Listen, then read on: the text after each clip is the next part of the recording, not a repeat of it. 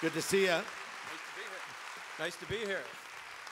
Now, Don, you're you're sort of uh, you know you have these books that you've uh, written. This Yes. is a series. You call it the Afterlife series. Correct. Here's one called "What Happens uh, One Second After We Die." Correct. And I'm going to ask you that question. Okay. You can. I'm sure you have an answer for it. You wrote a whole book on it. Yeah, I did. so, Can I see the book to see uh, what it says? yeah, no, Okay. you can't cheat. Okay. It No has to come from your mind. Okay.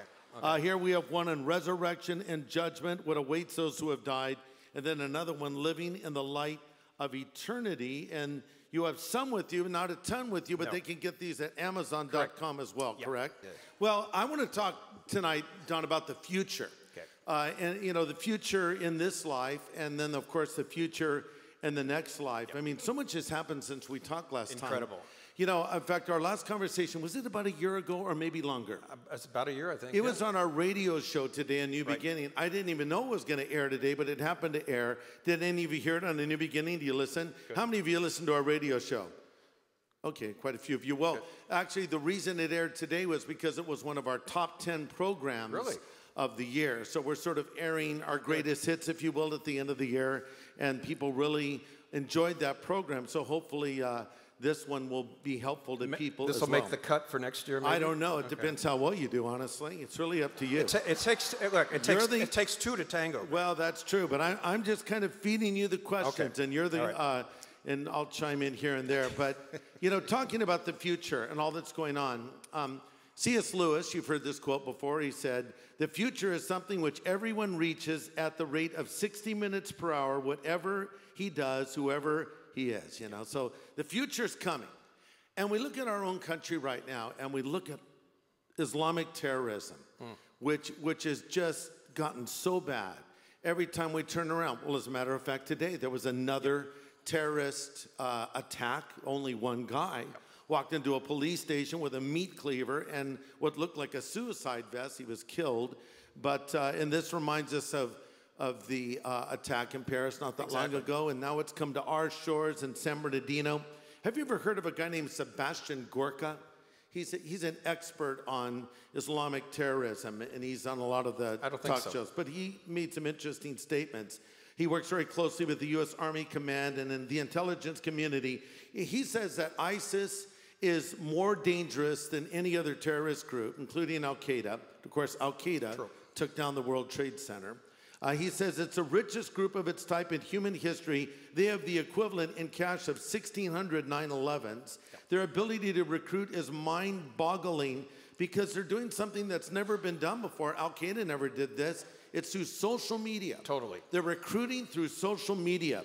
And there was a report on CNN that said they have the most sophisticated propaganda machine of any terrorist organization, a global communication strategy that has stumped cower- counterterrorism officials uh, while making significant inroads among U.S. sympathizers. And this digital age helps these terrorists to do a better job of recruiting members, and they're able to do it through encrypted technology. Yeah, I know. So they can't monitor it, they can't track it. Next thing you know, you have a radicalized person. Why do you think the media is reluctant to even use the term radical Islam or Islamic terrorist? Why do they want to back away from that term? Yeah, I think there's a couple of reasons, Greg. Number one, they want to be politically correct. Yeah. They don't want to sound like they're bigots. Yeah. But number two, I think there's a fear factor too, because if we can make nice with these people, maybe they'll like us. Maybe Iran won't build a bomb and blow us up. But see, they don't understand the mindset of Islam. Yeah. So they think if we're just good to them, if we're just nice to them, then they'll be nice to us. But they un- they don't understand like what ISIS is doing, what Iran is doing, Yeah. and therefore there's this ignorance there that abounds in the Western world. Really is. Yeah. Uh, ISIS, I read an article in the paper a couple days ago. It said, uh, headline was ISIS planning to slaughter thousands in 2016. And this is interesting. They want to spark a final battle with the West. I don't think people understand what these terms mean when they read them. There's, there's a method to this madness. Uh, one expert said that they're taunting the enemy to fight the final battle. And it reminds you of what we've talked about, and Joel Rosenberg, uh, who's going to be here in a couple of weeks. In fact, not this coming Sunday, but the following Sunday, Joel will be here. And Joel's a friend of both of us, Yeah, great. a prophecy expert, The best. and lives in Israel now, as a matter of fact. But you know, he pointed out that the objective is to serve Mahdi and annihilate Judeo-Christian civilization and establish God's kingdom on earth known as the caliphate. So sometimes people don't know what these terms mean. Mahdi, caliphate, what is all this about? Okay, the caliphate is like a worldwide rule, Islamic rule. That is the goal of Islam. It's the goal of Sunni Islam and the goal of Shia Islam, but they're going about it two totally different Yeah, ways. define the differences and who is who. All right, Iran is Shia Islam, okay? About 10% of the Muslims of the world are Shia, 90% Sunni. The Islamic State are Sunni Muslims, and they've been killing each other since the 7th century because each of them believes they're the rightful successor or heir to Muhammad. Yeah. They have two different views of end times, but bottom line is they both think they're going to get the same place. Islam will rule the world. Yeah. So we're talking end times here, but it's their version of end times. Correct. They, they believe in sort of final battles similar to what we believe, but their Messiah is not the Lord Jesus No. Christ. Who is this Mahdi? In their estimation, will he be a physical person that would come? Yes, the 12th Imam, he's called the final Right. Mahdi, the one that Allah will bring, basically to bring Islam to rule the world. And they think, for example, Iran believes they have to participate and help in this by destroying the great Satan. Of course, that's us, and the little Satan, Israel. Yeah. Uh, the Islamic State has a whole different view of doing it by boots on the ground and starting with Iraq and Syria and moving out. But the bottom line is the same. They're going to have a deliverer that comes in their own final days view, and they're going to take over the world. And is it not their belief that they want to establish almost a, a chaos uh, to sort of set the scene for Mahdi to return to? So we sometimes we don't understand these acts of terrorism where they're willing to, you know, kill themselves in the process. And but actually, that's part of the plan, is it? Yeah, in fact, Iran in particular, that's one of the reasons they're working on the nuclear weapons to bring a chaos there. They wouldn't mind, they said, if they would lose 18 million of their own people in some type of nuclear exchange, because that type of chaos, when they kill Christians and Jews, will bring this final deliver, this Mahdi, into the world. So now the reason we're talking about this is the Bible has addressed these topics. Correct. Not, not in particular. The Bible has not specifically mentioned Islam, but there are things that the Bible has said about the end times. So looking at this scenario that we're talking about, terrorist organizations hell bent on destroying people, committing acts of horrific violence uh, with their focus against the nation of Israel using modern technology. Are there any things that the scripture has said about this kind of activity? Oh, big time. In the last days, people's hearts will be failing them for fear. Jesus in Matthew 24 said, unless he intervenes, Greg, he said no flesh would be saved. In other words, Right. he makes the he gives the, the view that the world was in the position where it literally could destroy itself. Yeah. And so we see, Right. you know, people's hearts failing them for fear and all these Yeah. other signs that he gives of the end. That's right. In fact, this last uh, at the end of the of this last year, 2015, uh, you know, the big concern of many people prior to the terrorist attacks was the economy. But now Yes. all of a sudden, Yep, it's yep. terrorist uh, attacks and Big fear. Fear is in the air, and all it takes is just another attack, and and there's more fear. You know, and it just Yep. continues on. But a, a really key passage on all of this is, of course, Ezekiel 37, 38, and 39. Right. So, kind of do maybe a flyover for us uh, of what, what those passages are saying about the regathering of the Jewish people in their homeland, why that's significant, and then talk with us a little bit about the, this force coming against Israel, Gog, and her allies. Yeah, this is a tremendous uh, three chapters here, Greg. In chapter 37, it talks about Israel coming back to their land after being gone for a long period of time Yeah. To a land that's desolate, a land that's been destroyed by wars, and they will build it up and make it wealthy, wealthy to the place Yeah. that in Ezekiel, that will come back now in the last days. Yeah. Ezekiel 38 and 39 says, These countries that will invade, seven or eight, depend how you divide them up, Yeah. because Israel has something not only they want, but something that they need.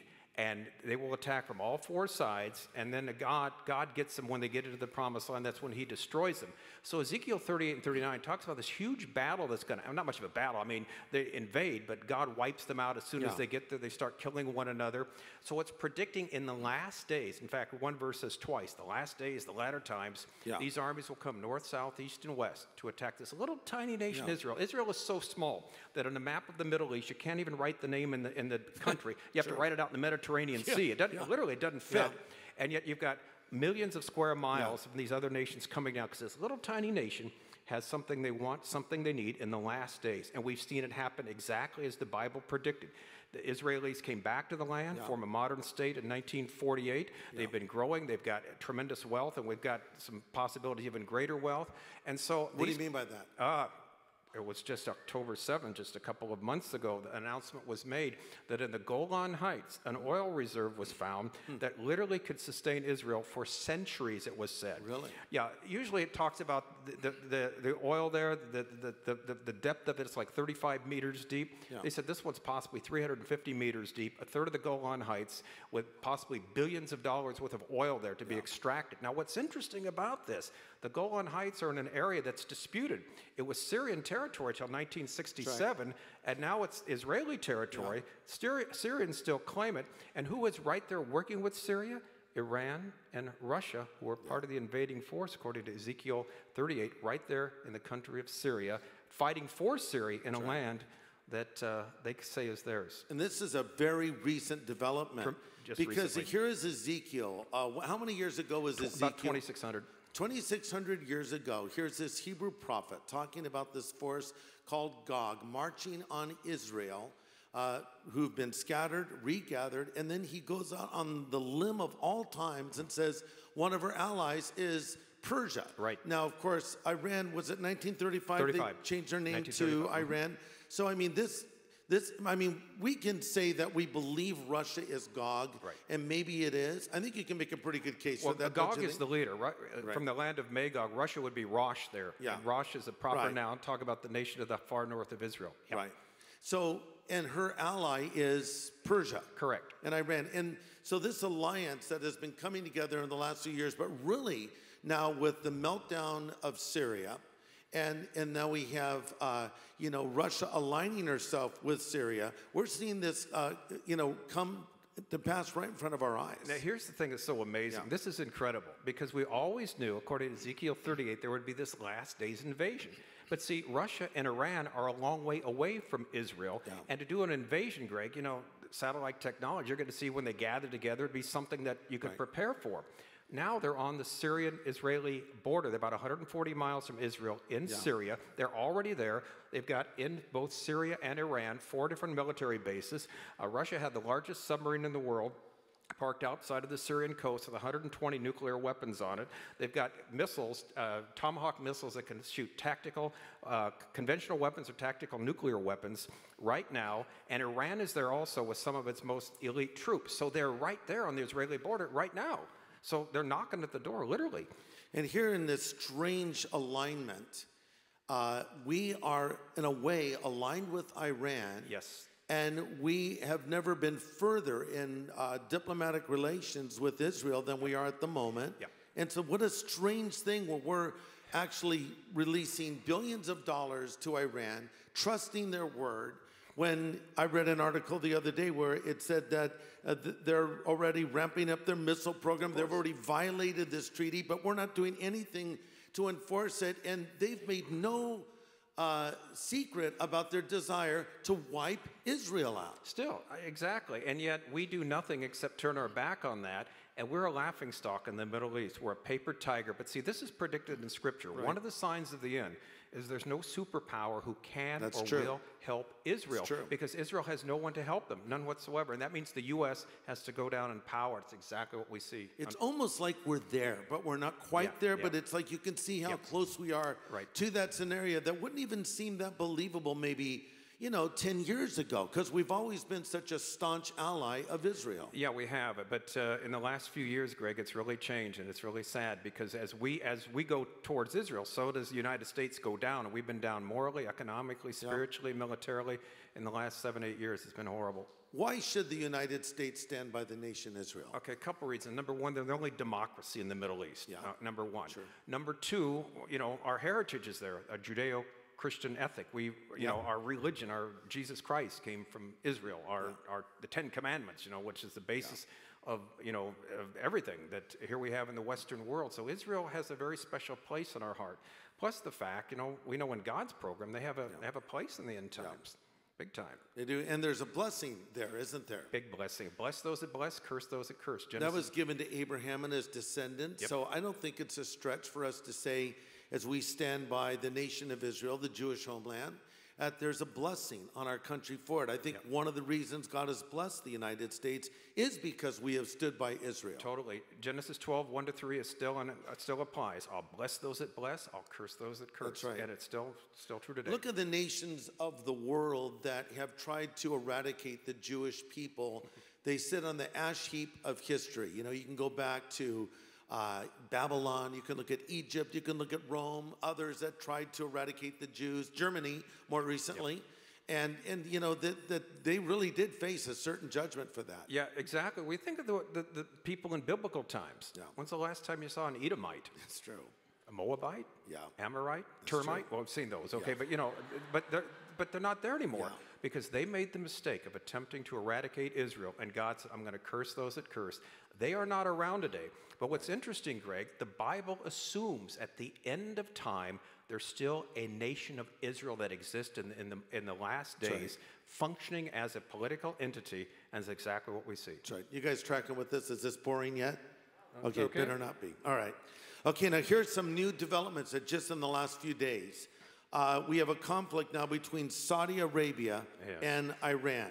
News articles said a conflict has been raging for days between the Shiite Muslim power Iran, the Sunni kingdom, since Saudi Arabia executed cleric uh, Namar el Namar. I don't know if I'm pronouncing that properly, but this was a big deal to the Iranians. Do you know anything about this guy and what's yeah, going yeah, on he with was this? a very outspoken uh, critic there of the Saudi government. He was in Saudi Arabia. He was a political activist. Yeah. Uh, Saudi Arabia is, is, you know, Sunni Muslim, but they have Yeah. they have Shias there. Yeah. And he was just fomenting, you know, the, the, the people there. And they threatened for years to execute him. And Iran thought, no, they'll never do it. And the Saudis felt strong enough, well, we can do it, you know, because they're the Yeah. two big dogs fighting for the Yeah. Middle East. They're Saudi Arabia and Iran. So they did it, and literally, it's caused all sorts of problems because people are now dividing up the countries on one side or the other. So this is huge because, according to Ezekiel 38, you got two things going on. You got an invasion that Iran and Russia are part of. That's but You got people sitting on the sidelines, which Right. Saudi Arabia is part of. The Bible predicts that. And now, if this isn't bad enough, we have North Korea firing off. Now, they said it was a hydrogen bomb, but now since our government has said it wasn't a hydrogen bomb, well, listen, it was a big bomb. It was a big It was some kind of a nuclear weapon Yeah, because yeah. it caused a 5.1 uh, magnitude earthquake. Big time. So, I mean, and you know, these guys are, are developing, you know, uh, interballistic missiles, uh, obviously, to move these weapons, and they've threatened us before. Is there any kind of an alliance or relationship between North Korea and Iran? Big time. They've been helping each other, sharing technology back and forth, and there's a right. there's a very close connection there, Greg. Because remember, in the Clinton administration with Madeleine Albright, we made an agreement with North Korea, which they wouldn't develop nuclear weapons. We have peace in our time, and Right. everything's going to be fine. Right. And yet now we're a couple decades later, and they've gone back on it. Because we think these sanctions, or the sanctions have been lifted, but now these sort of restrictions that we're holding the Iranians to, will keep them from getting a nuclear weapon. Yet at the same time, the North Koreans have been sending, you know, advisors over there Oh, to yes. Iran. They could basically sell them a nuke or course. give it to them if they wanted to. And here's a nation that is very, in a very outspoken way, said they want to eradicate Israel. The Ayatollah said Israel must be annihilated. He tweeted that. Oh yeah, yeah. What kind of a tweet is that, you know? A bad one. yeah. That's not a good one. But it's Yep, true to form and it shows where they're at. Okay, so I think when we talk about things like this, people sometimes can't see the forest for the trees. So let's try to kind of put it together. It's like a puzzle, you know, we put all the pieces on the table and we're trying to figure out what fits where. So let's maybe establish sort of a timeline here. Okay. Okay, so we're talking about uh, Israel's regathered in the land. That's been fulfilled. We read about this uh, force from the north coming with their allies and attacking her. That's still in the future. We know Antichrist is going to eventually emerge. We know there's going to be a one world government, a cashless society. And we also know somewhere in the mix there's going to be a rapture. Yes. And we'll talk about that a little bit more as well. But maybe just give us a, a bird's eye view or a flyover of the order of the events as you best see them. Okay, as we best see them, the first would be the rapture of the church. The Lord would take the church out. You like that idea first? Yeah. Okay, good, good. Yeah. Yeah, and here's the good news. That could happen any moment, Yeah. anytime. He takes us out. Two things happen. Rapture means to catch up Harpazo in Greek. It's rapere is the Latin Right. word we get rapture from. As we're caught up, we are changed. The living believers, the dead in Christ rise first, Yeah. and the body of Christ is complete. After that, a number of things happen. Yeah. A period called the Great Tribulation, Yeah. where the seventh week of Daniel takes Yeah. place, and probably one of the first events will be this Ezekiel 38, 39 invasion. And then, Let's just slow down for a Okay. second. Great tribulation period. Okay. Antichrist emerges on the scene. oh, he's coming after that. He's coming as, a, yeah, he's coming first as a man of peace. Though. Yeah, gonna- so that's what I was going to ask. Because as the tribulation starts, if you don't know your Bible and you haven't been raptured, Yeah. you might think this is a good guy. He's, he's, yeah, he's the best. Because in Revelation, he's riding a white horse. Yes, He's man sort of in, you know, because anti is against, but also instead of, he's a false Christ. Totally. He's going to help the Jews rebuild their temple. Right. But then something happens called the abomination of desolation. What's that? Yeah, that's when it changes. That's the last three and a half period, Yeah. year period begins, called the Great Tribulation, Matthew Right. 24, 21. And Jesus said if it didn't return, there'd Yeah. be no flesh saved. Right. That's where the temple will be rebuilt, sacrifices offered. Right. This man comes, stops the sacrifices, puts idols of himself in the Holy of Holies, declares open season on the Jews, and then claims to be God himself That's and right. forces people to worship him as God. Yeah. So we've got, okay, rapture of the church. We've got uh, Antichrist emerging as a man of peace. We have the tribulation period in play. Now, um, what else happens in the tribulation period? Well, this tremendous judgment, 6 through 19, where the Right. wrath of God is poured out on the face of the earth. And you read some of these judgments, if they're literal, and we believe they are, you know, like a third of humanity is destroyed by some Right. of these judgments. God Right. pouring his wrath out is something really, really horrendous. Yeah. The good news is Christ comes back at the end of it to set up his kingdom as King of Kings and Lord of Lords. But during this period, Yeah. great revival happens because Sure. people will wake up. Uh, they're called the tribulation saints Right. because they'll see that what we've been saying all this time right. is true. A lot of them think we're nuts right now, but when we're gone, they'll, they'll, they'll wake up. yeah, and there's 144,000. They're Jehovah's Witnesses, right? That's right. 12,000 of each Jehovah. No, they Where's are that lightsaber again? We need to. yeah. No, 12. Yeah, 12. Who are the 144,000? Se- uh, 12, th- Revelation 7, 12,000 of each of the 12 tribes right. of Israel. You've got, they will be witnessing for the Lord. All right. Yeah. You've got also, according to Revelation 11, two witnesses, uh, like possibly Moses and Elijah that Yeah. will come. Is that who you think they are? Uh, Elijah's probably one of them. Moses, good, good. We don't Yeah. know. Or it could be just. Because they have the power to, uh, you call fire down from heaven. That's an Elijah Like miracle. Mhm. And, Yeah. Uh, yeah. So anyway, So you got the 144,000, Yeah. the two witnesses. Then in Revelation 14:6, to top it off, an angel flies all around the world preaching right. the everlasting gospel in every language, telling people it's time to repent because the end is near. So God, there's not going to be anybody who's ignorant. Yeah. Greg. Everybody's going to know what the score is at that time. it's like an angelic mop-up operation. Indeed, it is. Big I'm going to put one drop in my eye because I'm wearing a contact lens. Okay, no problem. Feel much better. Okay, so we've got the tribulation period in full force. Right. We've got the 144,000 who are actually protected by God until Totally. their job is done. Exactly. We've got the angelic mop up operation proclaiming the everlasting gospel. And then it's building, and we read about the battle of Armageddon. Is there a battle singular, or are there battles of Armageddon? and why is it called Armageddon? Yeah, okay. Armageddon is Hebrew for the mountain of Megiddo. And Yeah. Megiddo is, of course, you know, a mountain there in Israel. Yes. An ancient tell or a mound that has something like 26 civilizations built one on top of another.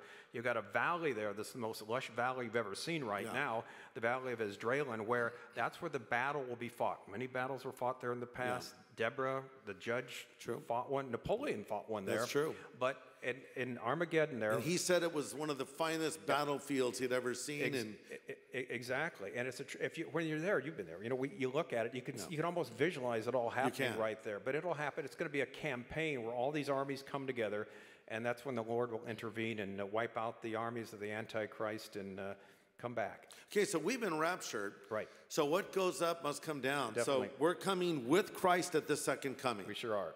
And uh, w- and the second coming is the is at the end of the tribulation period, and it's different from the rapture, Yes, isn't it it? is. Yet people get confused about the two. Yeah, because the Lord comes for His church. at The rapture comes with His church at the second coming. Right.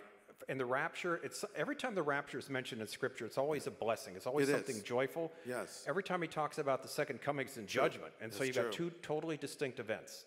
And so now the church returns with Christ, and what follows this now? Uh, when the church returns with Christ, there's the judgment of the nations, Matthew chapter 25, verse about 31 and following. Right. The nations are judged. Those who are still alive, all right, will be judged, and the Lord will separate the sheep from the goats. The sheep are the ones that enter the kingdom of God, the Yes. millennial kingdom. Millennium is Latin for a thousand, thousand year reign of Christ on earth.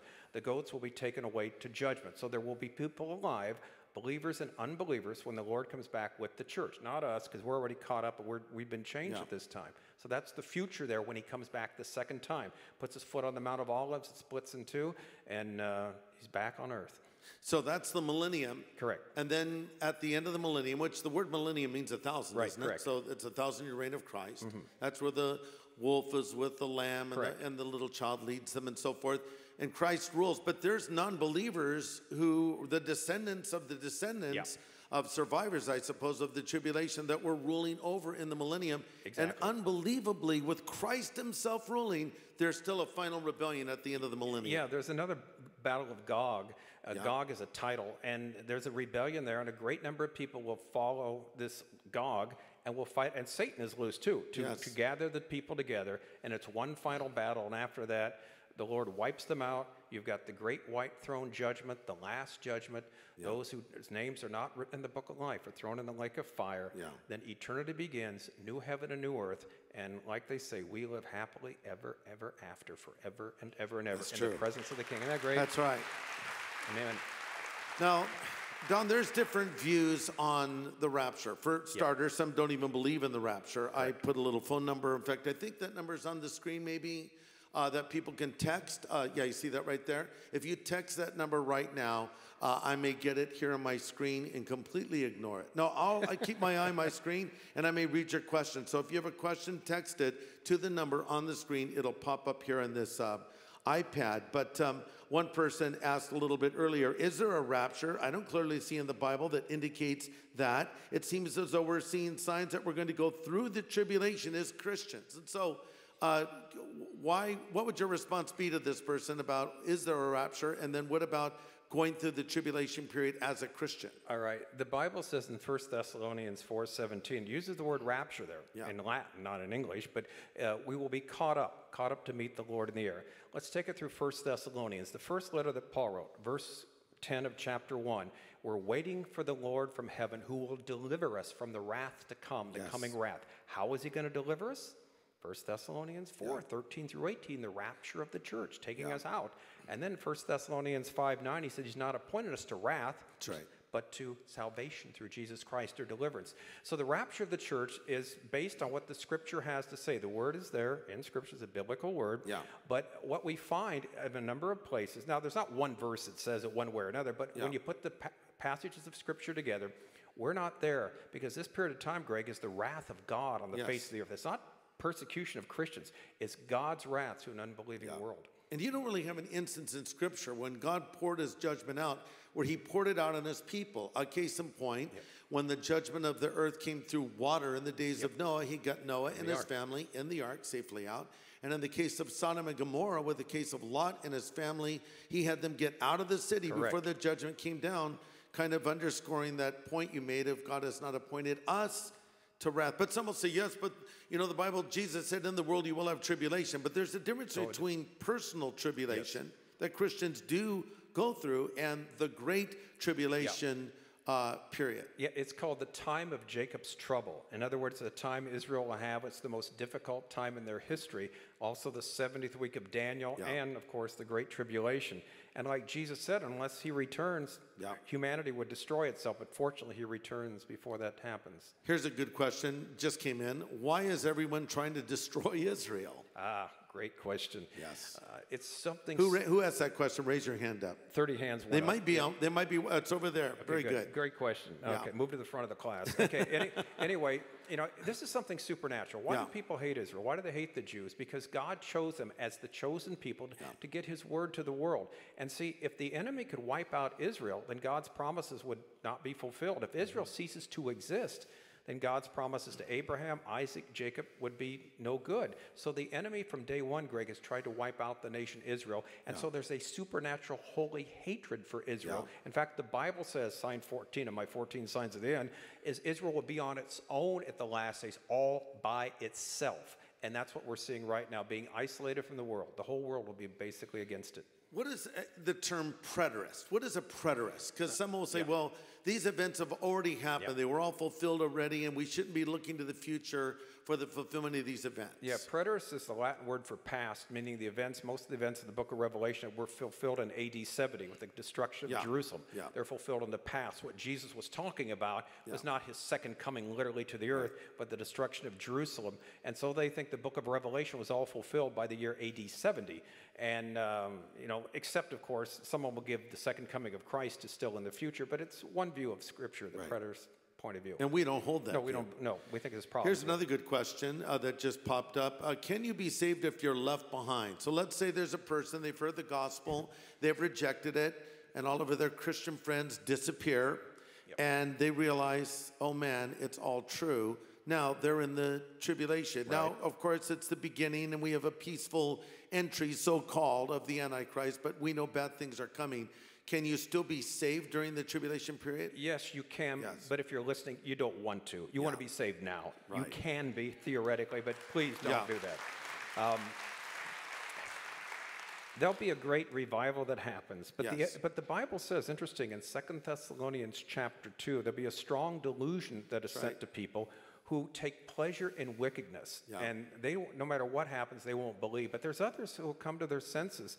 But it's not something you want to do because it's a, the, the darkest time in the history of Earth. You don't want to be around at that time. And the good news is, Greg, today nobody has to if they come to faith in Christ. Here's an often asked question Will all children be raptured? Uh, will all children be raptured? Children of believers, yes. Children of unbelievers, we're not told. We don't know.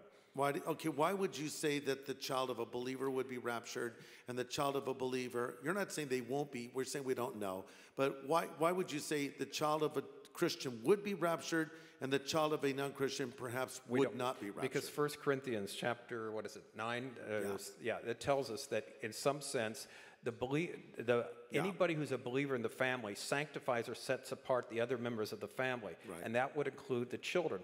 But think of it this way, Greg. The rapture is the blessed hope. What blessed hope would there be if you got caught up and your child was left behind? That wouldn't be something to look forward to. So, in some sense, we sanctify or set apart our children by believing in Christ. Okay, we did this before, but it, it helps people to kind of wrap their mind around it. We'll do a lightning round. Okay. Just Haven't we me- been doing one? What's that? Just kidding. Just I, kidding. what'd you say? I said, haven't we been doing one so far? A lightning round? Was this too fast for you? No, not, it's not fast enough, actually. It's, get that lightsaber. dude. Get- get- It's a lightsaber round. it's a lightsaber. Yes. Okay, let's do it. Okay, so Okay. just like maybe Okay. two, Yeah. like two sentence explanations Okay, of these sure. terms. Rapture of the church. It's the catching up of believers who are alive on the earth. Okay, tribulation period. Uh, a seven year period divi- divided into two parts. The- The last part called the Great Tribulation. The Antichrist. He is a person in place of or instead of Christ, a human being, a Gentile from the old Roman Empire. The false prophet. He was like his uh, John the Baptist, probably Jewish. He performed signs and wonders, calling people to worship this final Antichrist. The battle of Armageddon. It's a campaign that it's at the end of time there in the valley of uh, Megiddo in the nation of Israel, plain of Esdraelon, where all the armies of the world at that time will gather together for one final battle. The 144,000. 12,000 of each of the 12 tribes of Israel. Revelation 7 and 11. In and out burger. It's the place, what's the hamburgers all about? Okay. Very very good. That's what a hamburger's all about. It is. It, yeah, sorry. You get an A, Don Stewart. Thank you, Greg Laurie. I- You know, we were in class today uh, as kids. You know, I would be the guy in the back of the room making jokes, being sent to the vice principal's office, and you would have been in the front of the room as a teacher's assistant. Uh, I don't know about that. Well, I I, got I got in some trouble too. Before Did I- you? oh yeah. You did? You got in trouble? Mm-hmm. I was What a kind smart of trouble? A smart aleck? Before I came I to the Lord. I can see that. You can? Me? No. I, before I came to Christ, yeah, I really was. I was, and I was an athlete You too. still are a little bit too. quite a bit actually. Yeah. As am I. Uh, well, yeah, like we said the other day to each other, quirky minds think alike, right? We came up with the same thing independently. It's interesting on a whole other issue. It was funny. Okay, so let's shift gears now and move from the prophetic events just to the afterlife in general. Uh, in your book, Living in the Light of Eternity, you talk about the value of talking about death. And you know, it's interesting in our culture today, it seems like this is a topic we avoid. You know, in the past, in other cultures, death would be talked about more openly. In fact, uh, ancient merchants would write the words memento mori. uh, over a document. It could be an accounting document, and it just meant think of death. Like, hey, uh, reality. Death will come eventually, so just remember this. But in our culture today, we don't want to talk about it anymore. But actually, in uh, your book, um, Living in the Light of Eternity, you make some really good points, and so I'd like you to sort of elaborate on these. Okay. Uh, you talk about why it's important to talk about the afterlife, and it, this doesn't have to be a morbid subject, does no, it? No, no, because we're all going there. These bodies aren't made to last forever. Sooner right. or later, we're going to be face to face with the Lord. It'd be nice to know where we're going, and we can know. So it's a subject the Bible says so much about, and we need to know about it. Yes. Okay, so here's some points you make. Uh, studying the afterlife will help us to maintain the proper perspective in this life. Elaborate on that. Okay, and this life is not all that there is. We live with eternity's values in view. In other words, we think about eternity when we do things here on earth. 1 Timothy 6 says we can't take it with us. We come into the world with nothing, we live with nothing, so we have eternity in our minds at all times. So thinking about the afterlife helps us to live right down here in this life. Yes.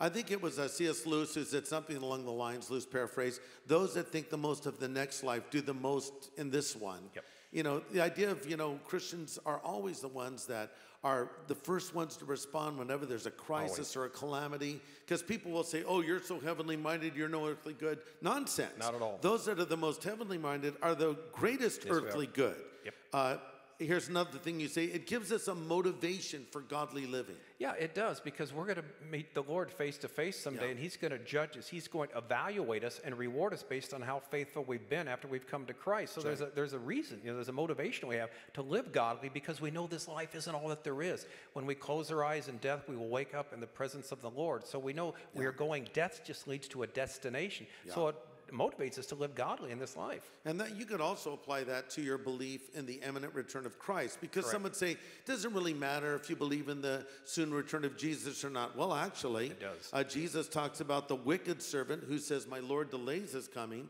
And then John tells us, He that has this hope, that is of the return of Christ, purifies himself. So not only believing eternity is close, but knowing that Christ could come back. Exactly. We want to be living a godly life. Yeah, definitely. Okay, you also say it will give us great comfort and encouragement when believers die. This is very important. It, it is because we've all been touched by it, by having believers, or at least most of us have, that having people that we know we love pass away. We know if they're in Christ. Paul says in 1 Thessalonians 4:18, comfort one another with these words, because right. he talks about a great reunion we're going to have someday. And so when a believer dies, the word's never goodbye. We'll see you later. See you sometime in the future. And it's Yeah. so practical, Greg, because death is, hurts as a loss. It's, we mourn for it, but we don't mourn as those that have no hope. And that's what Paul said. Yeah. You know, Don, if it wasn't for the, the hope of uh, what we find in Scripture, I don't know how I would have survived having my son die. It, it, you know, it still to this day is still very painful for me. And I miss him with all of my heart. But, you know, as uh, Paul says, we don't grieve hopelessly as those that have no hope. So we still grieve as Christians, but it's hopeful grieving. You can be sad and have hope simultaneously. Indeed. And it's a, yeah. Go ahead. And no, it's a, it's a real hope, a genuine hope. It's not something false that we've talked ourselves into. That's the good news based on what Christ has done for us.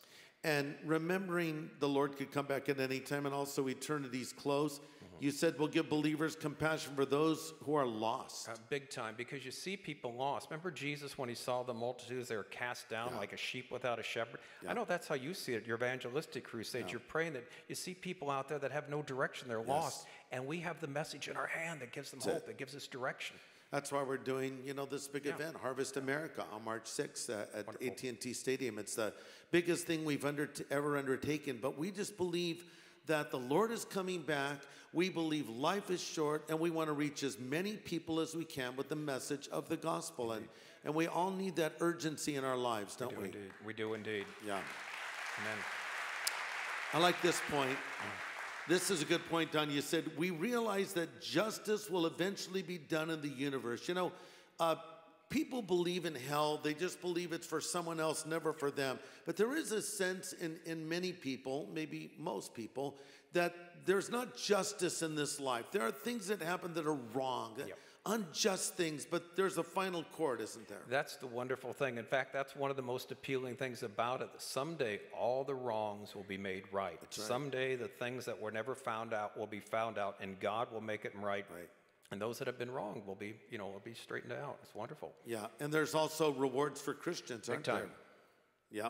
Well, that's it. Oh, big time. What? Say something about Well, it. well, it's a big. Oh, well, how much do you want me to say? Okay, well, okay, Okay. we're going to get, okay, let's go back to heaven for a moment. Okay. Uh, we have the rapture, we're in heaven. There's the judgment seat of Christ, Yes. right? Okay, also called the Bema seat. correct. So, and sometimes people might confuse this with the great white throne judgment, which No, is very different. exactly. So, talk about that judgment seat of Christ and the giving out of rewards to Christians in heaven. Okay, look at it this way. The Bema seat was a raised platform. It was mm-hmm. used in the Olympic Games in, in Athens in the first century to give out rewards like gold, silver, bronze medals. Yeah. So the person that came in first got a gold medal. The person Yeah. that came in second wasn't hung. They were given a silver medal and the third a bronze medal. Mm-hmm. And so at the Bema seat of Christ, Christians will be rewarded based on how faithful we've been to the commandments of Christ after the time we come to know him. And so to believers, judgment day is reward day. We will be judged in the sense of rewards. Unbelievers will be judged in the sense of being condemned. And so for us, all we're looking forward to is hopefully building our foundation on gold, silver, precious stones, as Yeah. 1 Corinthians 3 says. We will be rewarded on how faithful we've been to what the Lord's put in front of us. So the judgment seat of Christ is really almost like an award ceremony. Big time. Where the, but the great white throne judgment, if you end up there and they open up the books and then the book of life is Yep. open and your name is not found written there, is there a way out of that? Can you talk God out of this? No. Is, is that it? That's the sad thing, Greg. That's, the unbelievers are thrown in the lake of fire, and that is the final judgment, the final resting place, or as it were, of the wicked. It's a horrific thought to think of, but this is what the Lord says. The lake of fire, according to Matthew 25 41, was prepared for the devil and his angels, right. Jesus said. But unfortunately, humans will go there by not accepting Christ. Of course, immediately some people are going to say, well, how could a God of love create a place called hell? And how could a God of love send people to hell? What would you say to that? Well, God sends no one to hell. People send themselves there. The God, the God of love has died in their place, and they don't have to go there. He's taken their game, guilt, their shame, their penalty on Himself, so they can go and be with the Lord. Uh, if people reject that, since we've been made, here's the thing: we've been made for eternity. Each of us, all of us, either with God or without Him. We're not going to disappear. We're not going to, you know, vanish. We're not going to be annihilated. So we're going to have to go somewhere. If we don't go to heaven, there's only one other place, and that's the judgment, the lake of fire. Do you think life and death are, are in the hands of God? Totally. And, and do you think that there's an appointed day for us to die? Yes, but we don't know it. The Lord knows it. He hadn't told us. Yeah, I think so. Because it seems to be that way, that there is an appointed time. We, you know, He knows when it is, obviously. Uh, we don't. But that's why we have to live each day as though it were our last. In fact, right. one of the great preachers, John Wesley, said to young preachers, he said, Preach every sermon as though it will be your last, and one day you'll be right. And so we need to live every day as though it were our last, and one day we'll be correct. That's right. Uh, you have this book here, What Happens One Second After We Die. Yep. So, what does happen for the Christian one second after they die? 2 Corinthians 5 8, absent from the body, at home with the Lord. Immediately we're in the presence of the Lord Jesus Christ and we'll be there forever and ever and ever. That's initially what happens when we come to Christ So, when a Christian dies, they're obviously their body goes into the ground, on the ground.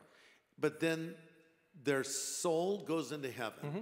and they're with Jesus. Now, when they get up there, do uh, we know we're going to get our uh, resurrected body later? Yeah. But what is there an intermediate body or what? So there's three views. Some people argue for an intermediate body. Mm-hmm. Some people believe the glorified body's there at, the, at you know Yeah. immediate upon death. I think the best view is we are we are spirits, disembodied spirits. Remember, angels are spirits. They don't have any physical form. God is spirit. They do well in the in the unseen realm. Thank you. And so we will too. So we'll be spirits, but we'll have it'll be us. We'll be alive in a sense. We're cognizant. It's we're there but we will be in some type of temporary form because intermediate means in between state, in between this life and in between then the resurrection and the judgment. Uh, one person asked this question My father died years ago. From his life's testimony, he went to heaven. If that's true, Is he in the ground dead, waiting to meet Jesus, or in the air, or did he go to heaven immediately after death? When we die, do we go to heaven or just stay in the grave? Everybody that dies from day one, the moment they die as a believer, is immediately in the presence of the Lord. He is in heaven. He's been in heaven. He's rejoicing in heaven. Body in the ground, yes. Yes. Spirit, the real hymns in heaven. And someday there's going to be a reunion of the two the resurrection of the dead, when the body and spirit join together. And that's what happens at the time of the rapture of the church. That happens first.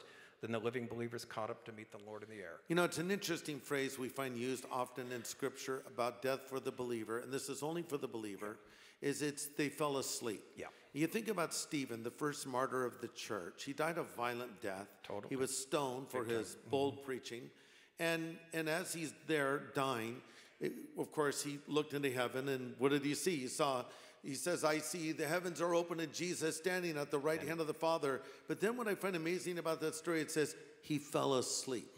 Yeah, interesting. He died a violent death, yet he fell asleep. Uh, What is that phrase? Why do you think that phrase is used, fell asleep? Because the Bible talks about those who are in the presence of the Lord are at rest. Their souls are at rest. He's now at rest. The labors on this earth are now over. No more persecution, no more pain. The body ceases to function. He's now at rest in God's presence. So, in a sense, his body fell asleep, but his spirit was never more alive than that time. You know, I don't know about you, Don, but as I get older, I like falling asleep. I'm, I'm doing it more and more too. I Act, uh, uh, you finding out the same I like thing? naps. I do too. Not long naps, just short naps. Of course, 10 minutes, all you need. Yeah, Yeah. n- not even that long. Eight minutes, okay. I mean, I know. a little short nap helps. get So, you know, the idea, you know, when you're a little kid and your parents would say, go take a nap. Oh. Yeah. Then when you're older and your wife says, go take a nap. Yeah. Yeah.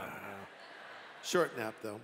So we fall asleep, but okay, then some will take from that idea this idea of soul sleep.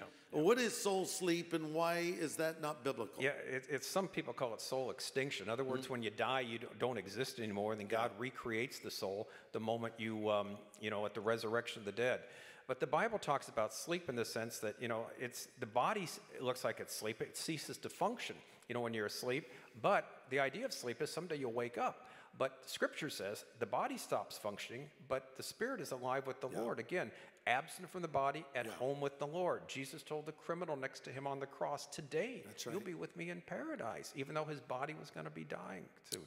What about the teaching of purgatory? What is it and why is it not biblical? Yeah, number of reasons. Purgatory is a kind of halfway place between earth and heaven. Sort of like Barstow. Some, Yeah. you're in the middle you, of two you, places. You've been there too. In huh? Yeah, between. okay, yeah, Okay. Yeah. In, sorry from Barstow. No, just kidding. An on that. eternal stopover. yeah. Okay. Yeah. the- the purgatory, purgatory is a, a non-existent place Yeah. That was invented by the Roman Catholic Church Yeah. as a place to get people prepared for heaven. In other words, they're not bad enough for hell, but not good enough for heaven. But Yeah. they're on their way to heaven, so they get purged, purged of their, uh, you know, impurity, so they can get into heaven. Any place. Depends who you listen to, anytime from a couple hours to a few thousand years, depending how bad you've been. Yeah. But it's not biblical because the sacrifice of Christ was complete. He did everything. If you believe in a purgatory, that means you have to earn your own salvation or work for it. He said it's finished. He did it all. We just right. believe what he has done. Plus the fact that you know, if we if we believe in a purgatory, we're saying that uh, again, not only Christ didn't finish the work, but it's literally up to us to get to heaven. And if there's one thing, Greg, as you know, as you preach, we can't do anything to please God. All we can right. do is believe because our works are, you know, filthy rags. Our righteousness is that way. So purgatory is a place, again, a non-existent place that denies the sacrifice of Christ was sufficient. That uh, basically was used money to get from the people of the church Yeah. to pray their relatives out of there. Because if you're in purgatory, you can't do anything for yourself. Your relatives here have to do it for you. So that's where they can pay money, have masses, prayers by the priest to get you out of there. But it just doesn't exist. One person asked this question uh, Well, we know our loved ones in heaven. My daughter passed away as a baby. or uh, will she still be a baby? And will she know I'm her mommy? Will she know her siblings? Will I know my husband? Yeah. That's sweet. and Isn't that sad. wonderful? Yeah. 1 Corinthians 13 says, We will know even as we are known. Yeah. In other words, our knowledge will be full. It was the great preacher G. Campbell Morgan that was asked the question Dr. Morgan, will I know my loved ones in heaven? And he said, Ma'am, I don't expect to be a bigger fool in heaven than I am here on the earth. And I certainly know who my loved ones are here on the earth. So, Yeah. yeah, of course we will. She also asked an interesting question. So, if a baby dies, or do they remain a baby in heaven? No, probably not. We'll probably all be, you know, again, we don't age in heaven, so we'll be all mature in heaven. Now, what we'll look like and that, the, the age that we'll be at, you know, we won't age as it were, but no, they'll all be, you know, very similar that way, but we'll know each other. Just think of the transfiguration, uh, Greg. Uh, Moses and Elijah just showed up. There wasn't any receiving line. They'd have a T-shirt that said, "Moses, I'm Elijah. Hi, welcome here." You know, one of that. They just knew, and it's kind of like that. Do you think in the glorified state everyone will be bald like I am? Uh, be careful I answer that. Well, we. I, I, Don't answer I it. will. I, I had a couple of lines, but I won't use them. Uh, you know, I think when you lose a loved one unexpectedly or even expectedly, you know, you have no way to mentally prepare for what that's like. Mm-hmm. Mm-hmm. And, uh, you know, I, I know a person who just lost a loved one and, and sh- they were doing really well in the immediate aftermath. And I thought, you know, hard days are coming for them because the reality sets in and that person's no longer there. Even if you knew they were going to die, even if they were on their deathbed, when they're finally gone, it's so hard. And this, uh, the result of this is sometimes people try to have communication with people on the other side. Uh, you'll even hear things said like, "Well, I know my loved one is still with me. I, I sense their presence," or, or even something like, "They, they speak to me and they guide me." Why is this a dangerous thing for anyone to do, much less a Christian? Yeah, you can't reach your loved one. The loved one is beyond your reach. If you reach anybody, it certainly won't be your loved one there. Uh, once we're once a person is dead, they're in the unseen realm, and they cannot come back. They don't come back and haunt. They don't come back and communicate. Not at all. And the Bible gives the strongest of warnings in Deuteronomy 18. Don't learn the way of the heathen, which they Yeah. try to do is communicate with the dead, because we won't. We will talk to somebody, but it certainly won't be that dead relative we're talking to. They can't tell us what's going on because the Lord Jesus has given us enough. In fact, Greg, 2 Corinthians 12, Paul was, you know, caught up into heaven. He wasn't allowed to say anything. Uh, he said he doesn't even know if he's in the body or out of the body, so we better be very careful about trying to do something like that. Exactly right. Now, we've talked about what happens to a Christian when they die, and what happens to a non Christian when they die. Yeah, read Luke 16, 19 to 31, and you find out what happens to a non Christian. There's an account Jesus gave of a rich man who did very well in this life and who died, who was conscious, who was in torment. He knew who he was. He knew who Lazarus, the poor man, was. He knew who Abraham was. He knew he had five brothers. He knew where he was. He was conscious. He was conscious. He knew why he was there. He was in flame. He was in torment, and yet he knew he couldn't get out of it. And he knew he had the chance to believe in this lifetime. But then he was told no one can come back and even and, and talk to somebody on the other realm. So he was stuck there. And you know, his whole life he can think for all eternity and regret what he did or what he didn't do. Yeah. And, you know, I think that sometimes people will, will think that, uh, well, there's chances after death, but there are no chances after death. Hebrews 9:27, one death per person, then comes the judgment. Yeah. And so after death comes judgment, and then of course eventually the resurrection of the dead. Resurrection, then judgment. And coming back to what you said about uh, what Jesus said about Lazarus and the rich man, you know, some will say, well, that's a parable. But what's interesting is he uses a name, Lazarus. Yeah, he he, didn't uses use names in parables. Never, and also the, all the parables were about this life. This story is about the next life. Yeah. Uh, again. True. Yeah, and even if, let's say, for sake of argument, was a parable, Jesus gave all these specific Yes. details. Do you think he gave them to mislead us of what the afterlife is like? I don't think so. I think he wants us to know what's going on there. And he, remember, Greg, he said there's a great chasm, a great gap between those believers and those who are unbelievers. And you can't cross over one to the other side. It's like a behind the scenes look at Correct. the afterlife, and it, it, it's not pretty. The that's curtain why. was pulled back. Yep. Mhm. Yeah, and that's why we want to believe in Jesus now. Okay, let's shift gears. We're almost done here. I'm going to ask you some personal questions, Okay. Don Stewart. Uh, what's your favorite Bible verse? You probably have a lot, but if you had to pick one, what's your favorite? I, when I am a there's two of them. Can I have two? Yes. Okay. When I ha- I'm asked to write in a Bible, Yeah. I write 2 Corinthians 5 7. And that it says this We have this treasure in earthen vessels, Yeah. so the excellency of the power may be from God and not from us. In other words, we're just clay pots. The- any power we have is from God. And my favorite one is 1 Samuel 2:30, where the Lord says, "I will honor those that honor me." Wow. And that was from the movie. Remember, Chariots of Fire Yes, that was, was. used, and I just that one is always met. If we honor Him, He'll honor us, and if we can remember that, life will be a whole lot better and a lot Right. easier. Amen. Yep. So here's um, here's a profound question. What's your favorite kind of food, Don Stewart? I'm working on a diet right now. Oh, you Uh, are? Okay, yeah, I'm trying. Yeah, Okay, I'm not. Uh, I actually wrote a book called I'm Going on a Diet Tomorrow and Other Lies We Tell Ourselves. yeah, yeah. Yeah, yeah, I don't know. I, you know, I'm one of these people, as you. I've traveled everywhere. I'll eat what's put in front of me. I don't really care. I don't have a we meet at a. Mexican restaurant We do. I like that that place we meet at. It's Yeah. good. That, that's good food there. So, you gonna pay for it sometime? one day. Oh, one day. Well, That's my resolution. Okay, here's the biggest question I have for you. Okay. Why do you like cats? Okay. Because you have a cat. No, no. You post pictures of your cat, or you've sent me pictures of We your have. cat. In fact, you sent a picture of your white cat. Yes.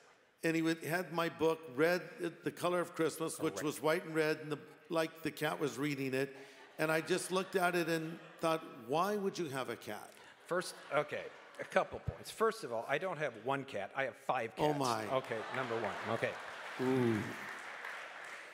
Two rabbits. We're about to get a dog. We have rabbits too. Yeah, we're get- we're getting a Pomeranian. We're going to get a dog too. Oh, wow. Yeah, and we got outside cats we feed, uh, striped Wow. cats. They're called skunks. We feed them. You're this raccoons close to being weird, you know. No, I know. Well, look, my wife and I, we really love animals, nature, and all that. We like doing that. Does, do any of your cats come when you call them like, here, kitty, kitty, do The- they come? Yes, the white one, the one that loves you. The See, one I like cats like that. Yeah, that If one the will. cat will come to me, I like the cat. If you come to my house, that cat will greet you and will sit in your I lap. want to meet this cat. Okay, well, What's that cat's name? Vanilla. Do you feel embarrassed as a man having a cat named Vanilla? My youngest daughter named her. I didn't. Yeah. Okay. and I know how that is. My grandkids named their cat. They have a rabbit. They named him Fuzzy. Yeah. then they had a rat named Strawberry. Yeah, So, you know, yeah. these Hey. names they come up with.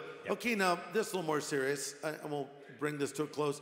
If you were going to give one last sermon, you, you know, only one sermon, you had to pick a text, and this is your final message. What would your text be, and what would your message be? No question about it. It's actually the first sermon I ever gave when I was starting to preach, and that was from 2 Timothy chapter 4, Paul's swan song, the last words he mm, gave to Timothy, yes. where he said, I fought the fight, I have kept the faith, I have finished the course. Now there lays up for me a crown in heaven, not for me only, but also to those who love his appearing. And I would look at the audience, I would say this. Have you fought the fight? Have you finished the course? Is there a crown laid up for you? There will be if you trust Christ. And it would be what Paul's last words were, knowing he was about to die, his swan song, his dying declaration. That is exactly what I would preach. Wow, that's a good question. Yeah. That's a, that's a good question to actually end on, Don, to ask that question to the folks here, the folks listening.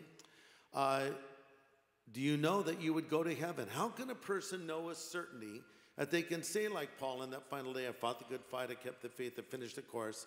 Uh, what do they have to do in this life to be sure they'll make it not just to the next life? We're all going to go to the other side. There is an afterlife for everyone. But what do we need to do to make sure we go to heaven and not end up in hell? 1 John 5 12 and 13 says, Those that have the Son of God have life. Those that don't have the Son of God do not have life. Then John said in 5:13, These things have I written that you might know that you have eternal life if you believe in the name of the only begotten Son. It's not a hope so, it's not a think so, it's a know so because God's word says so. So that's right, yeah. So there's somebody, there's somebody here maybe visiting for the first time, or someone listening that's never heard this before, and they hear you say, "Whoever has the Son has life." What does it mean to have the Son? Very simple to acknowledge Jesus Christ as God the Son who died in our place, who died for our sins, to believe in Him, to believe we can't make it to heaven on our own, that He has done everything in our, our place, and all we have to do is accept it, reach out and accept that free gift and believe in Him because He's done all the rest. Amen. Let's thank Don for coming tonight. Thanks, Don. Thanks for having me. Don will be um, Don will be signing uh, some of his books after the service, but I would just like to just close with those thoughts that Don was just sharing about having the Son of God in your life. You know, you can't be born a Christian. You have to be born again. That's what Jesus said. And we're all separated from God by our sin.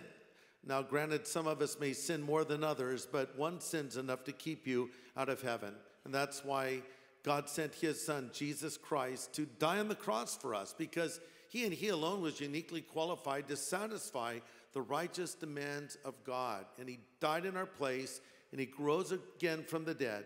And now he stands at the door of every one of our hearts and he knocks and he says, If you'll hear my voice and open the door, I will come in. You know, being a Christian isn't being a religious person. Frankly, I don't want to be a religious person. I'm not interested in religion. Being a Christian is a relationship with God, with Christ living inside of you. And I ask you tonight, do you have that relationship with Him? You say, Well, I think maybe I do, Greg. You know what? If Christ lives in you, you'll know. And if you don't know, maybe He doesn't. So why don't we get that resolved right now? He's just a prayer away. And I would like to close our time together by giving you an opportunity to ask Jesus to forgive you of your sin so you can know that you'll be ready uh, for eternity. And so if the Lord comes for us, you'll be ready to be caught up in the air to meet him. And you won't have to face this tribulation period that we've been talking about, these horrible times that are coming for planet Earth. But maybe even it doesn't come in your lifetime. If death comes sooner than you expected, it is going to come to everyone. But when it comes, you don't have to fear it because you know God in a personal way. But if you've not asked Christ to come into your life, you can do it right now. And we're going to pray and give you an opportunity to believe in Jesus. So let's all just bow our heads for a moment. And Father, I pray for any person here, any person watching or listening that does not know you. I pray, Lord, that you will help them to see their need for you and help them to come to you and believe and be forgiven of all of their sins. Now, while our heads are bowed and our eyes are closed and we're praying together, how many of you would say tonight, Greg, I want to go to heaven when I die? I want to be sure I'll get there. I don't want to go through the tribulation period. I want to be ready for Jesus when he calls his people home. I want to be one of those Christians caught up to meet the Lord in the air. Pray for me. I'm ready to say yes to Jesus. If that's your desire, if you want Christ to come into your life, if you want him to forgive you of your sin, if you want to go to heaven when you die, would you raise your hand up right now? And I'd like to pray for you. God bless you. Anybody else? Raise your hand up where I can see it, and I'll pray for you. God bless you as well. Anybody else? Just raise your hand up. God bless you too. God bless you. Anybody else? Raise your hand now. Just raise it up. God bless you. See you over there. Yes, amen. Just raise your hand up. God's Holy Spirit is speaking to you tonight. Don't ignore him. The Bible says, harden not your heart if you can hear his voice.